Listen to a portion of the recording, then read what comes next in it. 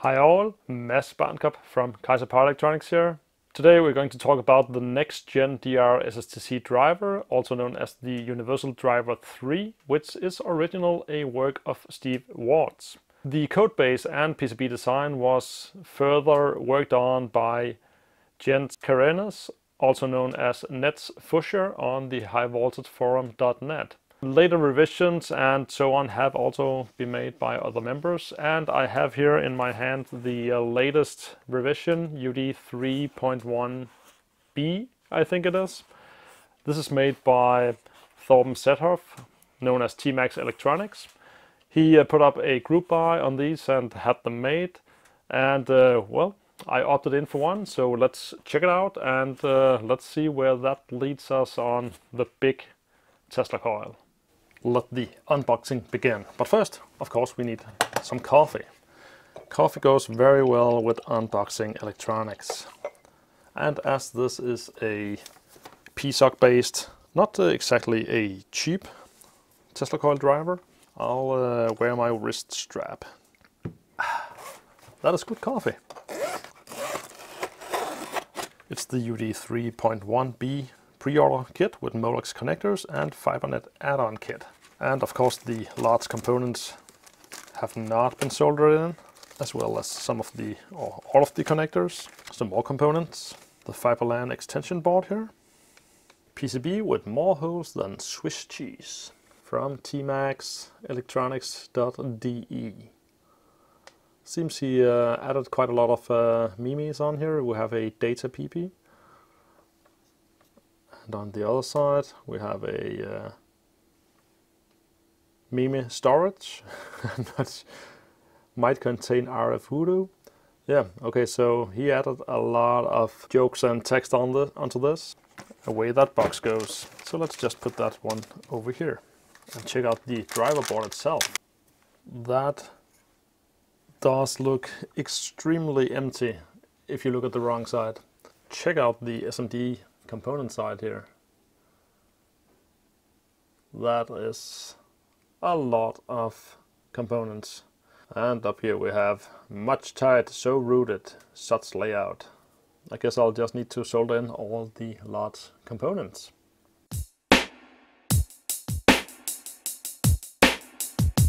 Let's take a look at the features of the UD3. It has a embedded interrupter with MIDI and SID audio modulation.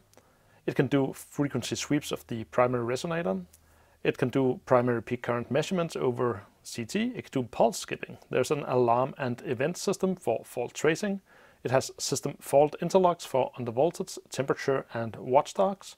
It has a DC bus current measurement and also DC bus voltage measurements. It can control up to four relays to handle uh, soft start and inrush current. You can control external light displays for some of the status LEDs. It's running on FreeRTOS, which is a real-time operating system. You can control it via a command line over serial interface, and it has support for Tesla Therm and UD3 node and can deliver live telemetry over serial bus.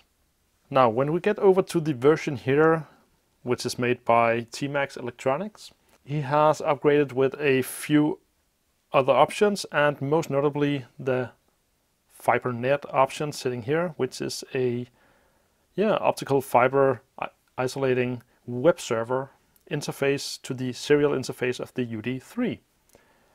So if we bring up the uh, connection list, uh, we can see that we up here have our 24 volt DC input. We have fan connections, relay connections, we have our USB programming port, over here we have status LEDs and we have DC bus voltage and current measurements. We have thermistor inputs and we have CT input for current or zero current detection and we have our GDT2 outputs over here. Now he also added some um, yeah, quality uh, improvements to some of the inputs outputs and added some more protection and he also added a V-drive regulator so you can actually do something between 10 to 24 volt DC on the drive voltage to the GDTs.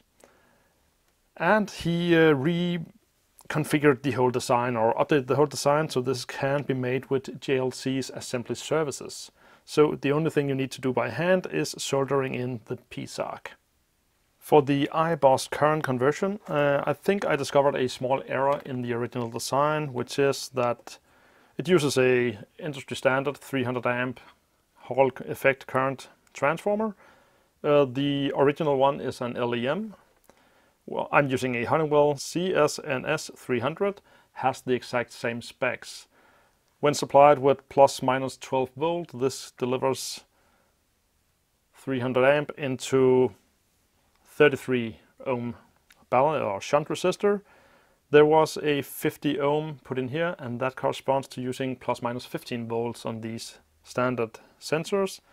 So I'm changing that to 33 ohm and that is only in the case that you get over 200 amps on your DC bus that it can develop over 5 volt on the input and you risk destroying your input pins on the PSOC. To connect to the fiber interface I'm using a media converter, just an old one I had lying around, from 1000 base to dual fiber here and that is of course a different fiber interface than what we have here and for that I had to order a LC to ST duplex cable. But uh, with all this in place, we should actually be able to hook this up directly to the network of a PC and we should see this show up as an uh, IP address running DHCP and the built-in web server will be accessible with the software and I think that's Teslaterm but let's jump right into the software part. Now that everything is put together, I have mounted the temperature sensors and not much else. We can do the initial testing from the documentation. Now it says that we uh, need a current limited power supply, 100 milliamp at 24 volt DC, and uh, nothing should get warm. So let's just turn on the power supply So right now we should see some weird behavior as voltage is way too low. It seems that the startup current of this uh, version of the UD3 uses quite a lot more power than described in the initial testing. So my power supply adjusted for 100 milliamp current limiting is simply way too low. Let's uh, check out the metering when turning it on. It goes into current limiting mode at 100 milliamps but watch what happens when I turn up the current adjustment. Rises up to 200 milliamps, 250 milliamps before settling down to 100 milliamp, 80, 100 milliamp. That gives us a driver in a running state. A lot of status LEDs all around the board. So we can see that the uh, plus minus 12 volt, the 24 volt DC and V drive, 5 volt, is present and then we have the status LEDs. Uh, we have the fault light which is, which is FLT and then we have communication blinking. So step two is connect the computer to uh, the driver via a USB cable. So let's try that. Plugging in the USB cable, the driver presents itself as COM4 and we connect via serial 9000 baud rate Oh, and there we have it. Next thing I want to test is the FiberNet extension board over here. And to do that, I bought some uh, different stuff and I got a fiber optic patch cable here, which is suitable for the connectors we have on the FiberNet board, but also on this black box media converter that I had lying around. So um, great to use some uh, parts that I have saved for times like these. It is of course important to get the RX and TX swapped so you do not yeah, put two TX and two RX lines together. Now it's time to set up the FiberNet connection. We have the red LED showing that there is no current connection between the UD3 and the FiberNet expansion board. So we want to change that by setting the min enable command. Set min enable 1 we'll do a EEPROM save. We have now saved it and uh, then we should be able to reboot it. Not sure if we can actually do that from here. Ah, that changed things for the better. Now we have FiberNet flashing green, which means it actually tries to connect to a network, but as this is uh, currently um, yeah, not connected to anything, that's not happening. Let's get back to the GitHub page and check out a Teslaterm, which is a Tesla terminal developed by Malte, uh, which will work fine together with the FiberNet option. And over here, I downloaded the latest release, 3.10. So let's just check uh, that out. And I just got the Teslaterm uh, win.zip and unpackage that one. We get all this content and we have Teslaterm.exe. So let's run that. With these kind of amateur made softwares, the manual isn't always that precise. So we are connecting over UDP. And uh, this is where I got a little lost at first because I was I was looking at my router to find the uh, IP address that the UD3 was getting over the FiberNet and it can only, only be found with a port 21 open for its FTP which is used for updating its firmware. But uh, what I didn't know was that if you just start typing the remote IP address here it's actually scanning the network and it already knows that yeah it's available at this IP address. And then we just connect. And there we go. Here we have it. We are actually inside. So uh, let's uh, start up the data logging.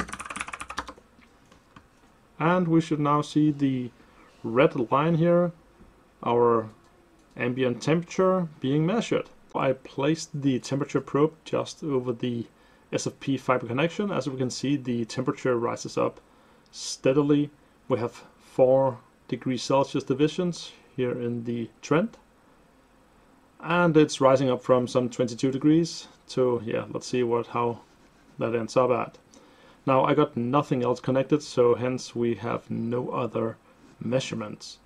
But uh, here we have the terminal that we can recognize from the connection with PuTTY. And other than that, we can actually send some commands up here. We can do some MIDI file, some scripting.